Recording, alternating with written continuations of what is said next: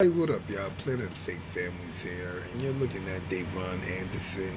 He's allegedly accused of killing both of his baby mothers days apart in the same location. He allegedly killed his first baby mother, uh, Kaylee Lyons. He killed her roughly around the end of July, beginning of August. And then he killed the second baby mother because the first baby mother he killed because he thought she was cheating on him. The second baby mother he killed because he thought she would tell the police.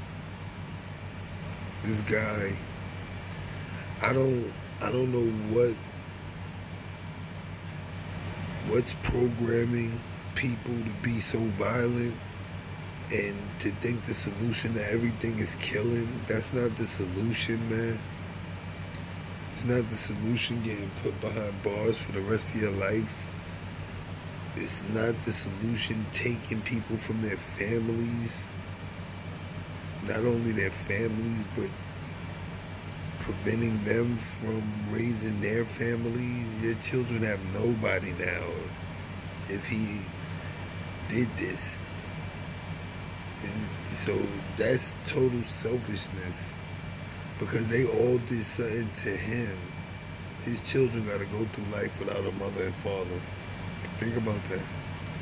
Their parents got to go through life without daughters. Friends got to remember them. 23 and the other one is young as well. He's young.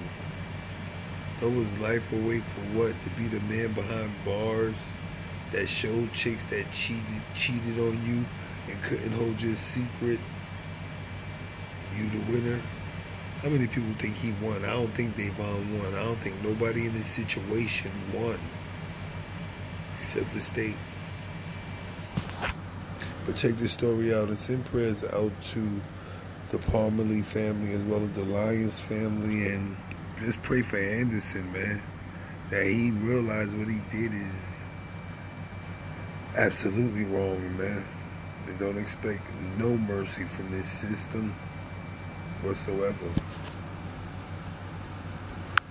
With that being said, what you heard and saw was the content. For additional content, click the link in the description.